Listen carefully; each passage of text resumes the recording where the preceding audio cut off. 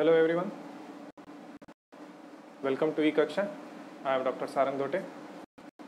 Today we are discuss about the reaction intermediate part 2. In the reaction intermediate part 2, before that we already discussed what is the meaning of a carbocation, how it is the form. This is the first part. Now this is the second part. In the second part, we deals with the uh, we deals with the study of what that is what is a carb anion, how it is a form and their properties. Okay. Now carb anion. Carb anion is negatively charged species. Okay. This is a negatively charged reaction intermediate also known as.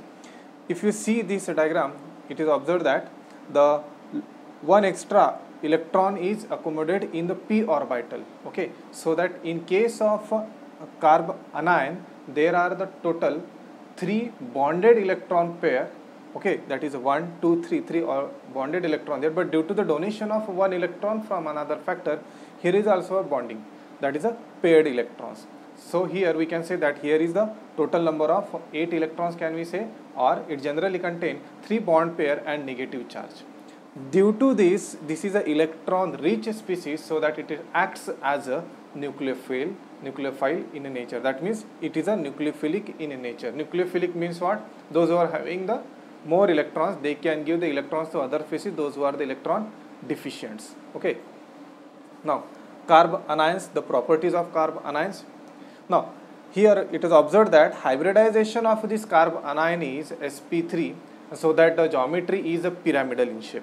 But in some cases where the pi bonded system is present, the hybridization is what sp2 and planar will be the geometry. Now, it is observed that all the electrons are paired and due to this the pairing of electron, this carb anion is diamagnetic in nature. That means it is similar property with the carbocation. Carbocation is also diamagnetic, carb anion is also diamagnetic. Diamagnetism, we see that the carbon is repelled by the magnetic field so that this is a diamagnetic in nature due to the presence of all paired electron. Now, stability of a carbon anions. Here we discussed about the stability of carbon ions. Most important thing that the carbon anion stability is governed by the electron withdrawing group that is a minus I effect. Here see the example from topmost there is a arrow which is show that there is a decrease in electron density of a carbon which is carry a negative charge. This is an example of uh, comparison between the tertiary, secondary, primary and methyl carbon anion. In the case of a tertiary, already carbon is having carbon which is carrying negative charge means what they are having the extra electron. If suppose that there are the extra electron coming from the, all the three sides, the electron density is increases to the carbon which is negatively charged so that it become a more unstable. So that a tertiary carbocation is less stable as compared to secondary, as compared to primary, as compared to methyl. So unlike the carbocation, here as soon as the electron density is increases on the carbon which is carry a negative charge, the stability is decreases. So in this case, from tertiary to methyl carbocation, electron density decreases so that the stability of a carb anion is increases. Likewise, tertiary is less stable as compared to secondary, as compared to primary, as compared to methyl carb anion. Okay.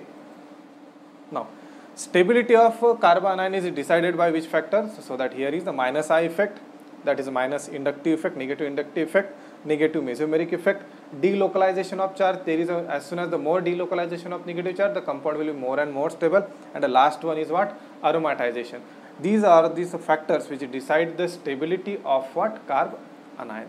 Now generation of a carbon and how it is a form so first one is the by action of base on acidic hydrogen. Acidic hydrogen means what? Acidic hydrogen is present in what? Triple bonded compound. Those who are easily donate their hydrogen that is acidic hydrogen. If suppose the base is attack on this acidic hydrogen then there is a formation of what? That is negatively charged carbon anion. Next one is what? By the decarboxylation of a carboxylate ion removal of a CO2 is known as a decarboxylation. So this is also uh, generates the carb anion and by attack of okay by attack of what? Uh, by attack of base okay. This is also example. Now now here the by the decarboxylation of what? Carboxylate ion. This is also and in organometallic compound because the metals are having the tendency to donate the electron so that by the donation of a electron from a metal to a carbon there is increase the electron on the carbon so that it carry a negative charge. This is also an example of what? Carbon anion uh, example is uh, Grignard reagent. In case of Grignard reagent we know that the magnesium donate the electron to the alkyl halide that is R group so that a carbon carry a negative charge. Okay now we see the the reactions of a carbon anion here the various reactions are there like the attachment of the H plus ions, loss of leaving group, addition reaction, nucleophilic addition with condensation type of reaction like aldol condensation, Claisen condensation, Perkin reaction, Knoevenagel reactions, okay, Michael, Wittig, Reformatsky, Dieckmann, like that various the reactions are there which is involved. The nucleophilic addition with condensation reaction we have the carb anion as reaction intermediate is formed. Okay, now this is thank you. Try to solve multiple choice question just below this video. Okay, thank you. Thank you very much.